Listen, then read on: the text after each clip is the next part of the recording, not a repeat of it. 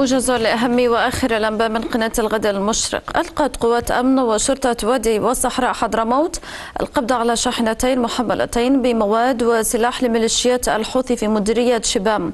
بعد أن تم السماح لهما بالمرور عبر نقاط قوات المنطقة العسكرية الأولى بسيئون وأوضح مصدر أمني للغد المشرق أن رجال الأمن ضبطوا شاحنتين واقتادوهما إلى مقر الأمن بسيئون إلى أن قوات المنطقة العسكرية الأولى في نقطة تريس على الخط السريع الرابط بين سيئون وشبام اعترضوا طريقهم ورفضوا مرورهم. وطلبوا بقوة السلاح إطلاق سراح الشاحنتين لإكمال الطريق إلى ميليشيات الحوثي. الأمر الذي رفضه رجال الأمن والشرطة وساد التوتر بين الطرفين في النقطة العسكرية.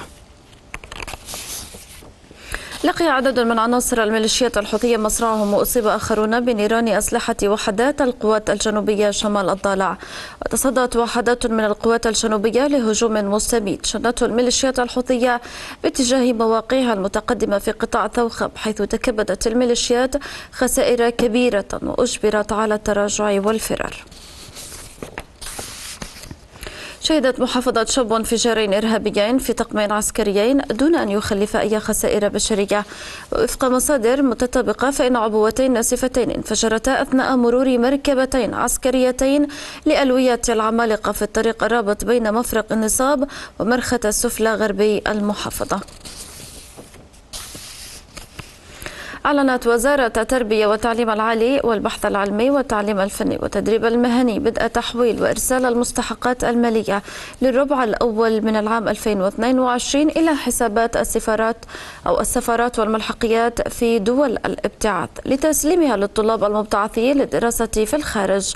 وجددت الوزارة اهتمام القيادة السياسية والحكومة بالطلاب المبتعثين في الخارج وأكدت أنها تعمل على تحقيق الانتظام في عملية تحويل وإرسال المستحقات المستحقات المالية للطلاب الدارسين في الخارج.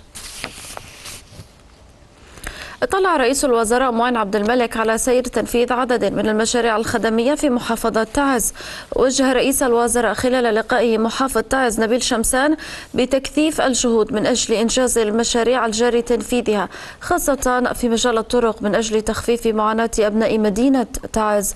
جراء الحصار الحوثي كما ناقش اللقاء مستوى تنفيذ شبكة الطرق إضافة إلى تشغيل ميناء المخا والترتيبات المتعلقة بإمداد تعز بالكهرباء والمياه نهاية هذا الموجز إلى اللقاء.